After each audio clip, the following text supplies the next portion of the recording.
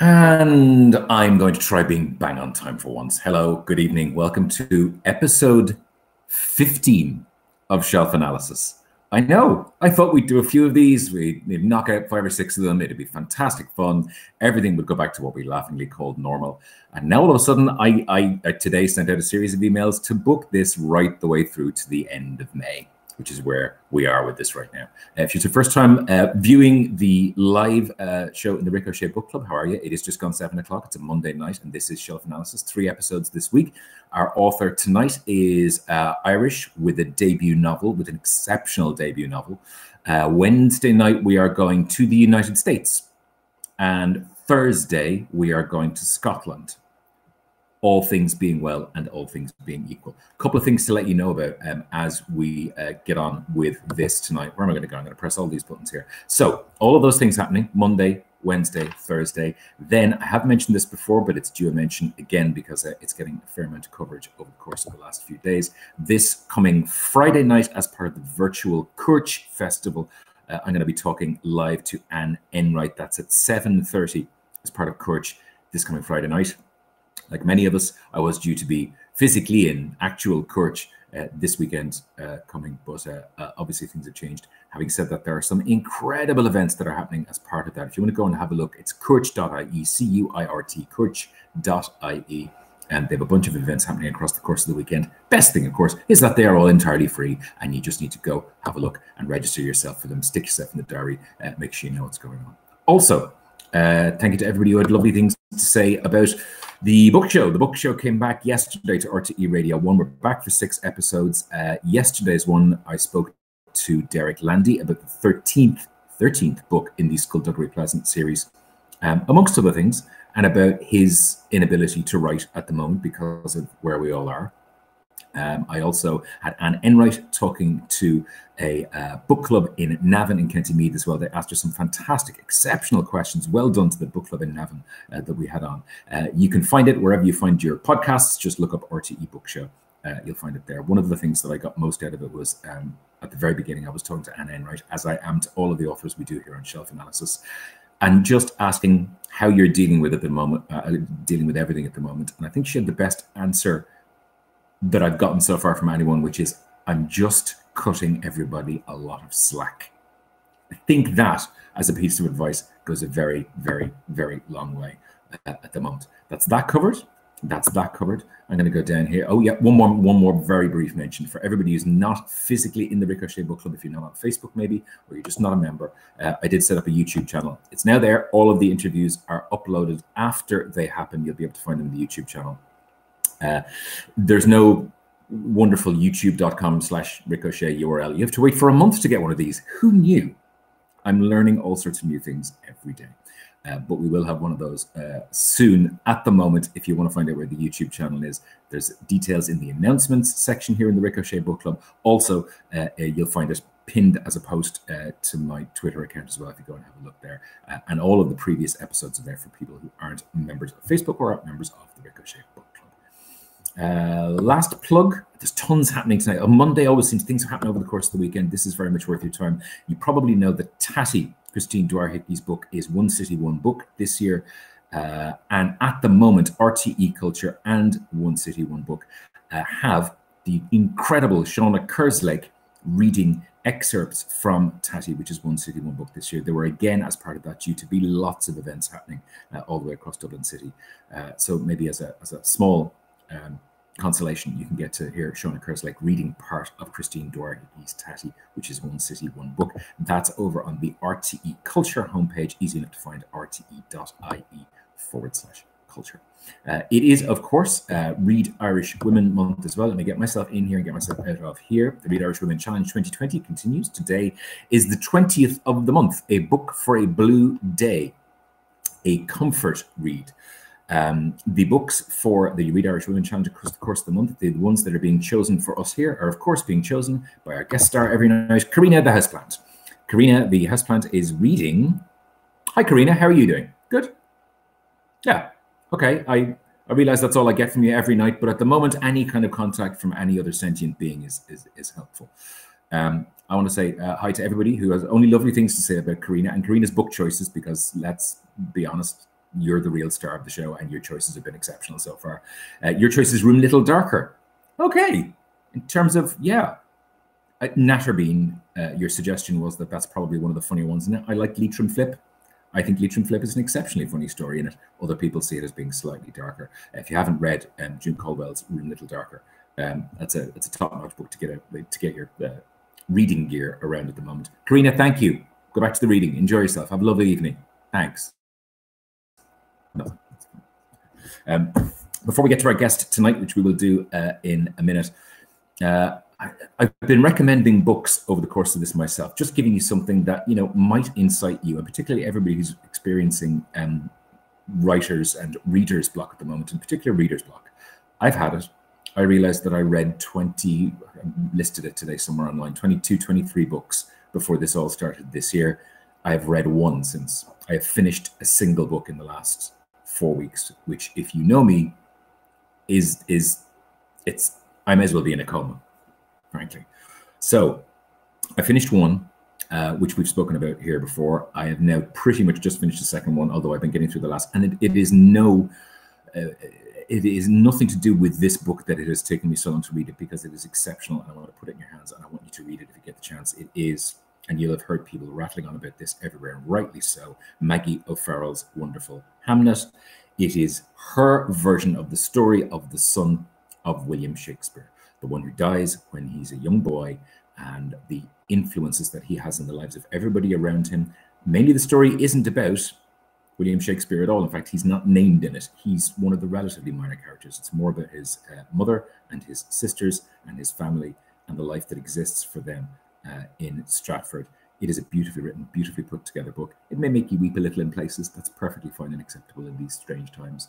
Um, and can I say it? I, am very, I'm always very cautious about not mentioning things and I'm not talking about who's going to be coming up on, on the show over the course of future weeks. I can tell you that I have spoken to Maggie O'Farrell already. She's going to be on a future episode of the book show on Radio One.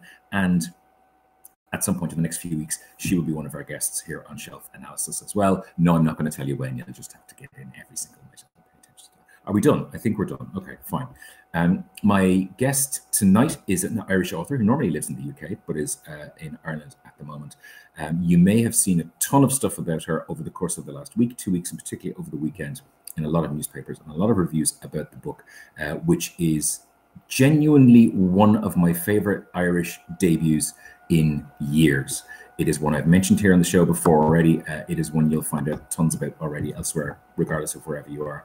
Uh, welcome, Naoise Dolan. How are you? I'm good. Um, hard to say anything that lives up to an intro like that, I guess. But yeah. that, that's okay. I, I, wanted to completely throw you by doing that introduction like that. Genuinely, it's it's it's. Um, tell me a little bit about. It's always the first question for for every author I have on because everyone is in a slightly different situation where they are. Everyone has lived through a slightly different last three weeks, four weeks, whatever. Uh, how has it been for you in the last few weeks? Pretty good. I think I'm bad at screening out what's happening more broadly around me, so that's been hard. But in terms of what's actually in front of me in my own situation, it's been pretty fine because I'm a fairly low key person anyway, so I don't really need constant stimulation. And I've also actually had way more of it than I'm used to with the book happening to come out. So, uh, yeah, I'm doing as well as anyone can, I think. Tell me a little bit, maybe, if you don't mind, about your surrounds as well, because everybody's got something slightly different going on. Where are you? Yeah, I'm staying in my parents' house in South Dublin, and we're just beside Bushy Park, so that's nice. Can go for a nice walk. And you've got what what it seems like an extensive bookshelf. Is that yours, or is that somebody else's? Is that is that what's going on there? Oh yeah. Um. So this is my teen bedroom. So um, books pretty much everywhere. It's the only place that I have to keep them. I haven't had a permanent living situation in quite a while. So yeah, they just stack up here really. Um, people may have seen again. There were a lot. Of, every Sunday newspaper I opened at the weekend had something about the book in it as well, and they have done for for for quite a while. Tell me a little bit for those people who haven't seen anything about the book about exciting times. Maybe tell us about the book. Sure. So if I have one sentence to describe it, I call it a love triangle set in expat Hong Kong. Since I have more sentences, it's not a love triangle at all. It's about a young Irish woman who goes abroad to teach English and finds herself in two relationships. The first is with Julian, who's a detached wry British banker, and then a second relationship while he's away with a Hong Konger called Edith, who's a lawyer and has a bit more zest for life, and so um, the protagonist finds herself choosing between these two people and the modes of being that are kind of wrapped up in them. I, I, wanted to ask him from a purely selfish standpoint, why Hong Kong? Mainly because I, I, was there last year for the first time. So in the sections of the book that I was reading, uh, where you know you're describing Hong Kong, I was immediately transported back to like the mid-level escalators, and so I immediately felt like I was back there. Why Hong Kong? Yeah, so I think that's an interesting one because I've done a lot of literary academia stuff, so I'm used to coming up with like the most hyper intellectual answer I can to questions like that. But at the time, it really was just that I liked Hong Kong, and so I wanted to set something there rather than dwelling in some less favoured city. But then looking back, obviously, once you choose something about a novel, then when you write it, everything else has to make sense around that thing. So I can say now, oh, Hong Kong is a great place to bring out those themes of language, or Hong Kong um, really aligns with the following mode of relationship or whatever. But like, if I'd said it somewhere else, then that wouldn't have happened. So it only makes sense after the fact. You can reverse engineer that as much as you want, and that's a, that's a, that's a perfectly acceptable thing to do as well. Um, the, the uh, again, I've talked to maybe four or five authors as part of this uh, series who had books that were due to come out now or at some point in the next next week or two you, are one of those. In theory your book should be you know adorning um, book stores everywhere and you know you, there should be launches there should be all sort of glitz and all that happening. How are you feeling about the way the book has come out now? Because you know there's a lot of work years of work that goes into where you are right now. Um to be honest i'm pretty chill about it. And you don't want to sound unsympathetic. Like, I'm really sorry for all my friends who are disappointed, but I think, first of all, I'm quite unceremonial as a person. So, like, I never throw myself a birthday party or any of that. So, things like a book launch party were only ever going to be for the benefit of my parents, not for me. Um, but also, I guess it's different if you haven't been immersed in the literary scene for years and years, seeing this happening to your friends and thinking maybe someday I'll get that day as well. Because that's not really me at all. I just wrote the book on my own, and I'm only really finding myself meeting writers now in the context of already being one. So I guess it's different too if it's been your dream for years and years. So you know, I feel for people who are missing all that, but I'm lucky, I guess, that I don't have as much to compare it to. So I'm just enjoying this was that one of the things that, that, I presume was planned over the course of the, the, the summer and, and, autumn and stuff is that you were going to be at festivals left, right, and center? Again, because you've never really done that before, was that something you were looking forward to, or was that something that you were just going, okay, that's that's part of the job now that the book is out? Yeah, like I think possibly some of this is generational and some of it is that I'm autistic, but um, doing stuff on the internet feels real to me you know, when I see people responding to things on Twitter, I don't feel that sense of like, oh, but I don't get to shake hands with them. And I can't say whether an holistic person my age would feel the same way, but the internet isn't this fake space to me. It's as real a way of socializing as any other it's it's strange in that as somebody who does interviews, you know, in front of rooms full of people at festivals all the time, you know, the number of people who are watching this now is probably ten to fifteen times the amount of people you would ever have in a room listening to you and I talk about this kind of thing. So so automatically, it's it's it's it's a far wider um, audience. Yeah, and I think as well as a disabled author myself, I'm really glad that there's that accessibility element coming out you know, in terms of disability, in terms of money, in terms of not living in a big city, I think this is making literature way more accessible to loads of people who might never have been able to go to those festivals or never would have thought of going. And it's not as bad in Ireland. Like in Ireland, I think you do get a broader range of people engaging in traditional events than somewhere like the UK, where it really is bound up with a lot of elitist connotations. But it's still really nice to have your work out there in ways that are accessible to people like you. Because frankly, I never used to go to those things before I had a book out myself. So there was that element of finding it a bit alien that suddenly I was doing these things associated to a community I'd never before belonged to, you know? So it's nice having it out there in a way that past me two or three years ago would have found accessible myself. Okay, well then I, am glad we're doing this. We're going to move from your book to what is in theory, the reason we do this, although it's a load of nonsense just to get to talk to authors I want to talk to, um, three books from your own shelves that you think people uh, should read. Uh, I don't give people criteria, so you can pick anything you want from any period of your life. They can be old, new, doesn't matter. What have you chosen tonight for book number one? So, um, I'll start with Queenie because I think this is one of these books that absolutely everyone needs to read because whatever level you like to read books on, it's there. Like it's compellingly paced. The characters are people you want to spend time with. So if you just want to sink your teeth into someone else's life, and all you want is an existence that isn't yours for a bit, which is fair because they're not under quarantine, so that's great. Um, it's great on that level. But if you want to read a bit more slowly or take in a bit more of the context, it's also got some really interesting things to say about what it's like to be a young black woman in London now, or London up until coronavirus. So, um, and there is so many shades in between of how you can read it. So I think it's one of those things where you can bring into it as much analytical depth as you want, and it'll satisfy you on any level pretty much. So, yeah, Queenie, pretty great. Um, then an Irish pick, Show Them a Good Time by Nicole Flattery. So definitely a darker sense of humour with these. It's a collection of her short stories. If you keep up with Irish journals and things, I'm sure you've seen her work around. I'm sure a lot of people have read this already, but um, she's incredibly funny with just this deadpan style that I've never heard her read her work actually, and I'd be really curious to hear how she read it because I hear these in a very flat voice, but then equally the prose is really inventive. So, yeah, it's another one of those ones that you can kind of do a range of things when you're interpreting it.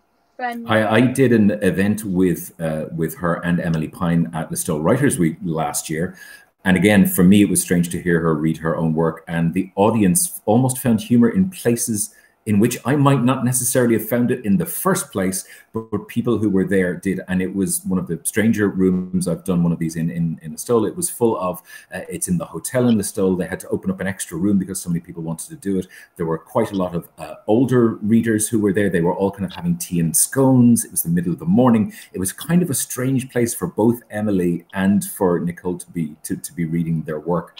But they seemed to find different things in it than I thought they might. Yeah, that is one thing actually that I'm missing out on that I'd be curious to see when this all passes that element of audience response and how you read out your work because I've never done that really, maybe once or twice over the course of many years. So my sense is that some jokes get more traction with people around you just because that element of collective shock and like what do we do with this maybe makes some of the blacker humor either more or less funny just depending on how it's delivered. So I think, as Ruth Gilligan said in, in an earlier episode of this, that you know books aren't like milk. You know they don't have a shelf life. They're not going to go off. So ultimately, you know when when all of this, like we keep using the phrase, when all of this changes and when all of this goes back to whatever, you know th- that experience um, will, will happen. Third book, what have you chosen? Third book, um, The Parisian by Isabella Hammad. Um, I think this is a really interesting one for Irish people because we're so interested in Palestinian cause and see a lot of historical commonality but um, this is a historical novel set back before the periods that we're used, used to considering. Um, it follows the protagonist as he goes to study medicine in France and finds himself embroiled in World War One. And I think it's just interesting sometimes to consider things from perspectives where we don't have as much of a ready-made opinion. So, for obvious reasons, with the setting, this doesn't invade directly on the conflict now, and I think that's an amount of nuance that's important to bring to things sometimes, especially if we have a preordained lens that we normally apply to it. And it's also just a brilliant book. So I'm definitely going in with a hyper academic answer. Like it's also just a really rich historical read and the setting's great. It's also very funny, very observant, and it's a touching love story. Yeah, I've got two questions. One of which comes from uh, somebody in the in the book. There's more than one person commenting uh, on on, uh, on the live stream at the moment, wanting to know what all of the turned books on your bookshelf are.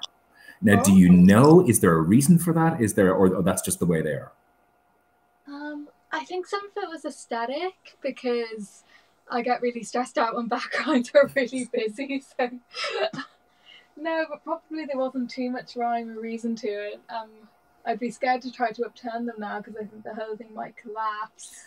it's probably best not to do that on a, on a live broadcast on the internet. That's that's not, that's not a good way to go. Um, yeah. uh, with Geraldine, they're likely to be um, cheap Victorian ones, just because that's what I got the most in my teens, because they were a euro to pop. But who knows? Could that makes sense. Cheap science fiction. That that was what happened with me as well. Same thing. Um, Ger- Geraldine wants to know: Could you just hold up the last book again? She wants to have a look at the cover of the, the Parisian, maybe of the last one again. Yeah, it's a fantastic cover, isn't it? It's beautiful. Yeah, um, and again, maybe people can, can check that out as well. What we do as well in the comments below, we'll put all of the details of all of the, the books that Naoise has picked as well. Geraldine from the Dromineer Nenagh Literary Festival says, hello. I'm just passing that on. It's come in comments. Okay. Uh, Gay says, uh, I heard Naoise speak to Brendan O'Connor uh, yesterday. She was most engaging, really enjoyed it. Um, and I know we probably shouldn't say this, although I only just found this out earlier, but you're going to be on a future episode of the book show with me as well uh, in a few weeks on Radio 1 um, as well. Um, a, a, question from a fellow author. This is this could go one of two ways. Uh, the wonderful Caoilinn Hughes uh, says, "Do you write?" Sh- Caoilinn says, "Do you write short stories too, or is it always novels?" Um, I think it's always a novel in my head, but sometimes if it turns out it's not a novel, then it becomes a short story. So, um, I because Caoilinn, I know you worked on poetry primarily, didn't you? And then um, wrote a novel, and I I think I read a chapter of your novel a while back, but sorry, this is me like talking to Caoilinn in front of a bunch of other people. You go ahead. You fire, fire ahead. Yeah, go. I, yeah, I think I started Caoilinn's novel at a point where I didn't have the brain to read anything, and I was like, I love this, but I need to put it down for a bit because my brain is wasps. But anyway, I got the sense from that that that sense of poetics selection was really informing everything. Like there was so much packed into every sentence. Whereas I think I'm a lot more of a slow burner kind of writer mm-hmm. in my way. But yeah, um, I write short stories sometimes. I think I end up doing it accidentally as opposed to viewing it as my ideal form. But I think that's because novels are most of what I read, and so that's the shape that presents itself to me most readily. Like when I think of a story, that's just how it starts to itself out. Uh, for for those people who maybe uh, don't know, Caoilinn's uh, new book, The Wild Laughter, is it's been bumped ever so slightly, but it is coming out later on in the summer. And I couldn't possibly say whether or not she's going to be a future guest on the show in the next few weeks. I couldn't possibly say that. Um, we've got questions, questions, questions. Um, there's one more as well. Uh, Brenda says, uh, Naoise, you seem lovely which is always nice to know. And you know, on a, something like this, uh, I can't wait to read Exciting Times. Um, could be very suitable for book clubs. Would you recommend it for us? Um, well, I have to, don't I? that was awful. I've heard that the author is just a complete wagon of void yeah, it's been terrible. She was on. She recommended books that you know I didn't like the look of, and then that was it. We were done. I I I, I know we're just pretty much finished and, and we're done here. But um, I'm I'm conscious as well of how, how weird and awkward this must be doing this in your, your teenage bedroom, uh, in a situation that's probably very different than where you would normally be doing this if you were because you you live in in the UK. Uh, what's your I don't ish sort of thing. So. Okay.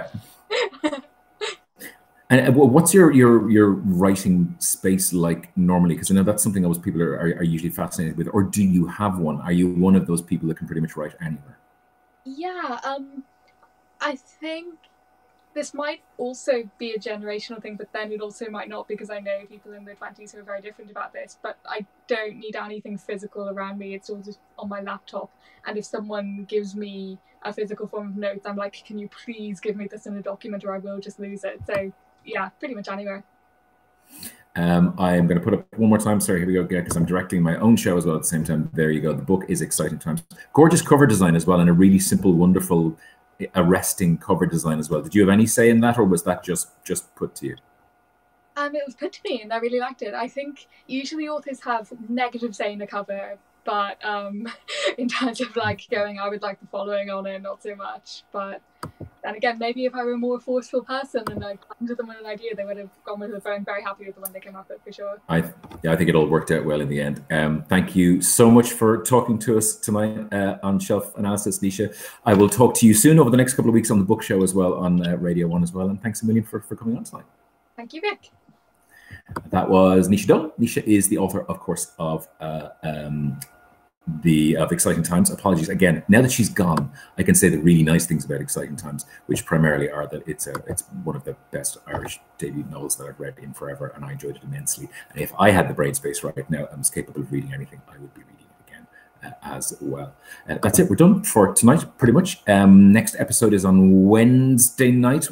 Wednesday night is going to be interesting. We are going to the United States on Wednesday night, and again Thursday night we are going to Scotland for again what I think is going to be quite an extraordinary episode uh, on Thursday night as well. If you want to check out any of the previous episodes, they are in the announcement section here in the Rick O'Shea Book Club. Some of them are archived by our friends at RTE Culture, and you'll also find all of them on the brand new YouTube channel for those people who aren't uh, on Facebook. And again, the link to that best way to go until we get a better way of doing this. The best way to go is find uh, the pinned post at the top of my Twitter account. You go and look and find Rick O'Shea on Twitter. Uh, other than that, that's it. Have yourself a brilliant, fantastic next couple of days. Catch you on RTE Gold at 10 a.m. Yeah, tomorrow morning and every morning this week. And back here again Wednesday night in the Rick O'Shea Book Club at, at 7 o'clock. See you then.